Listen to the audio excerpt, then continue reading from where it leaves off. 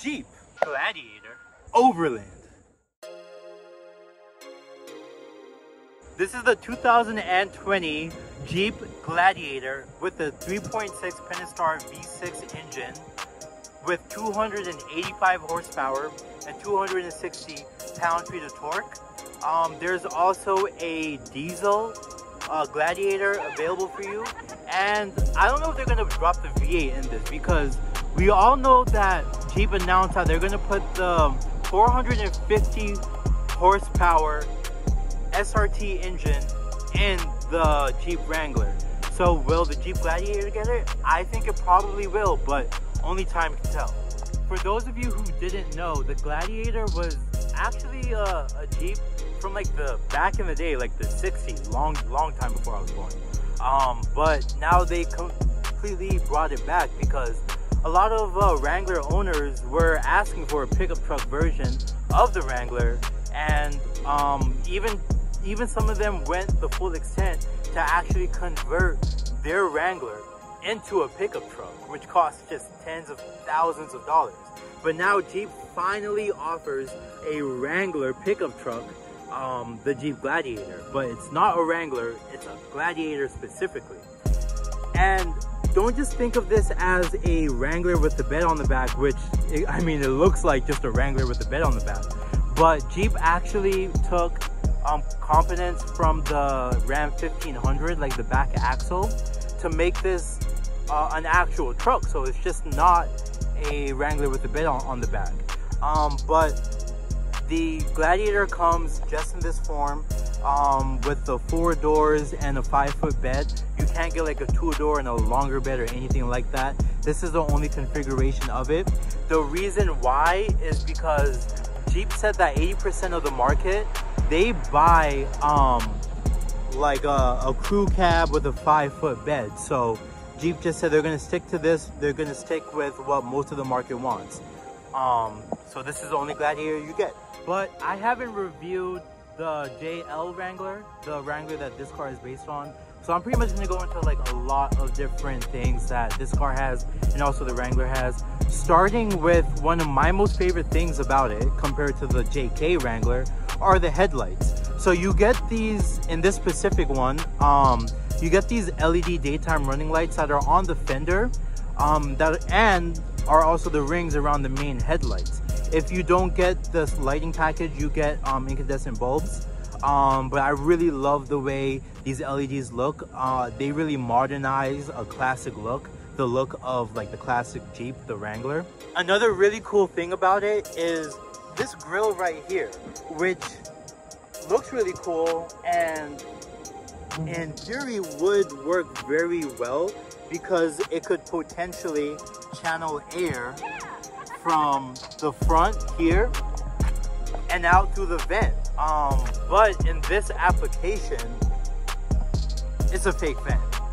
And I just really wish that Jeep put a real vent in there, but it's a fake vent, but it looks cool. A lot of people are doing fake vents nowadays, so whatever. Around back, you obviously get the five foot bed, but unlike the Jeep Wrangler, there's no wheel on the back. The wheel is actually underneath, just like a traditional truck. And you see that big Jeep logo on the back. On the Rubicon, it's actually outlined in red, which looks amazing. But this is the Overland, one step below the Rubicon.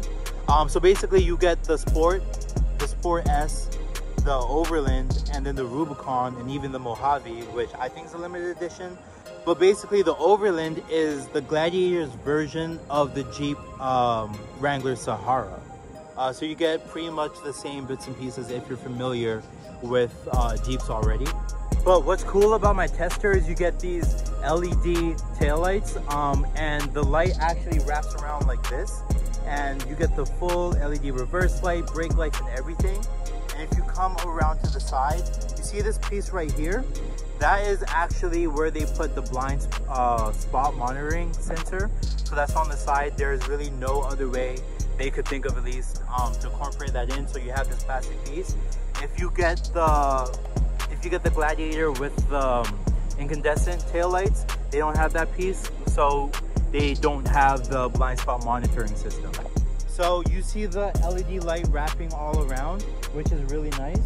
Um, one thing that you'll find on this pickup truck that you won't find on any others is the third brake light is actually on the tailgate. Usually they put it at the top of the cab, um, but this being one of the only, or pretty much the only convertible pickup truck you can buy right now, um, since you're capable of removing the top, if the top's down, you're not going to have your third brake light, so then the car is not going to comply with laws. So they had to put it on the tailgate.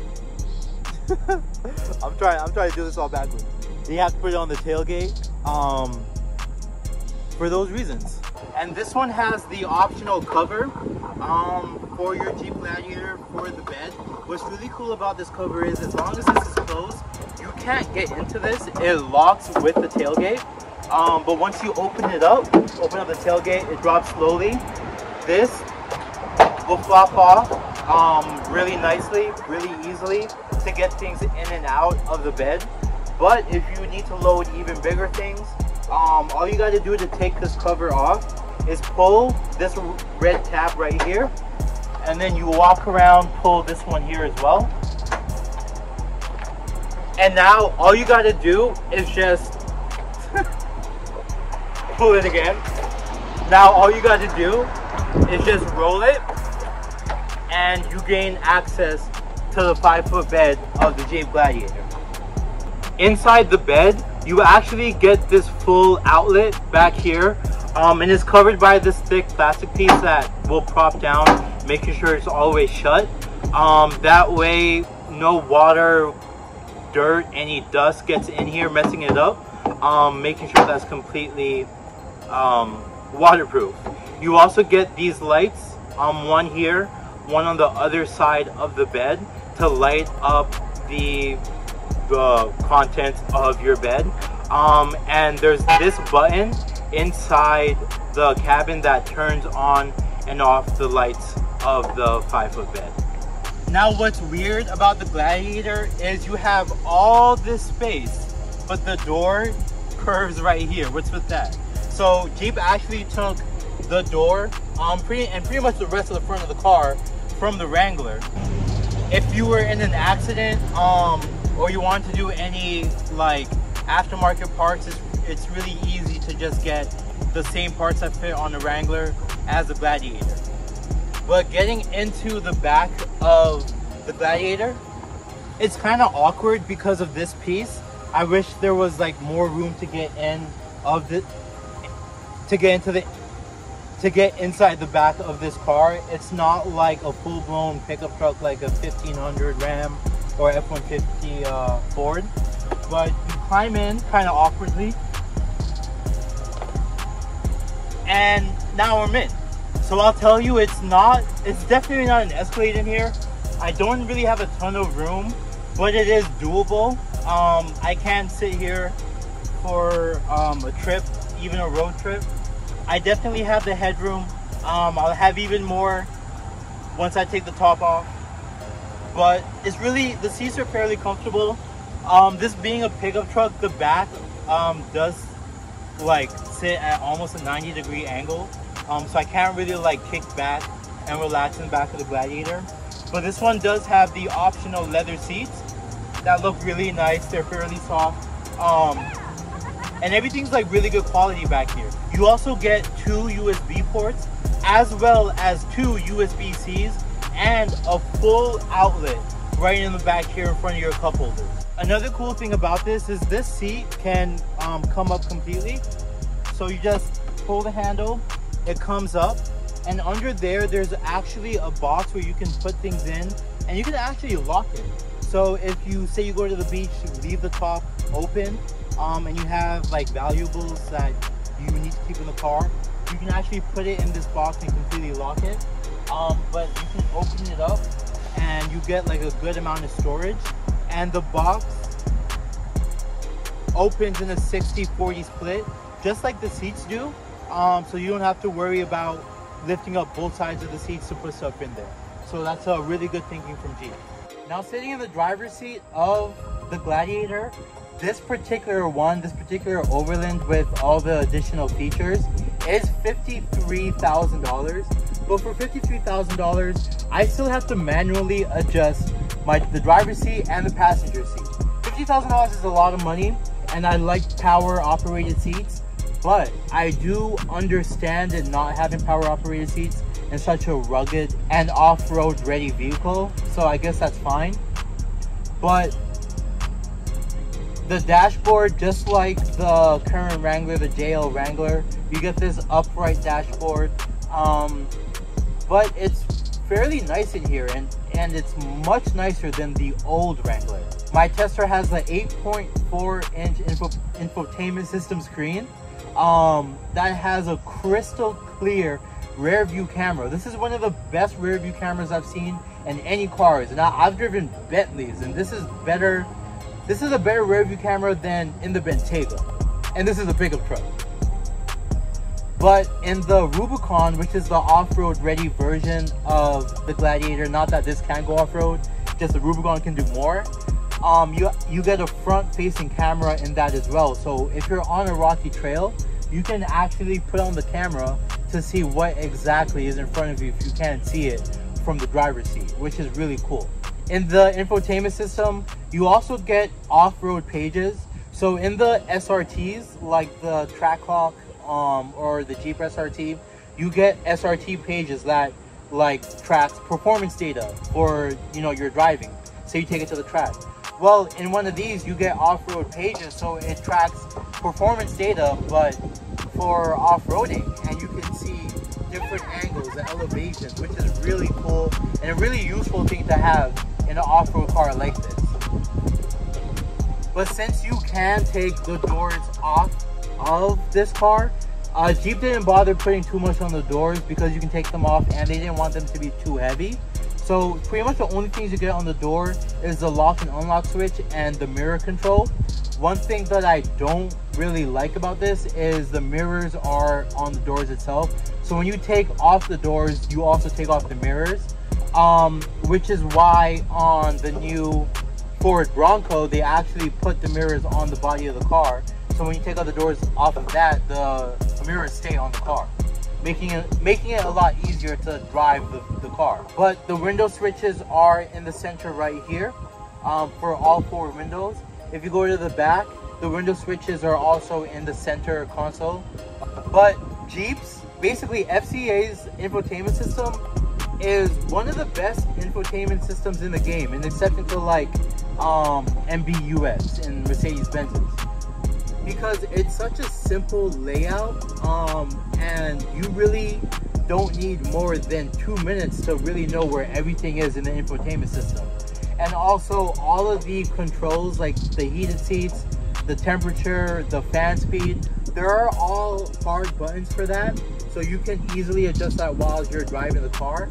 If you don't want to use the buttons, you can also access all of this information in the infotainment system. So it gives you, Jeep gives you both options, which is really cool.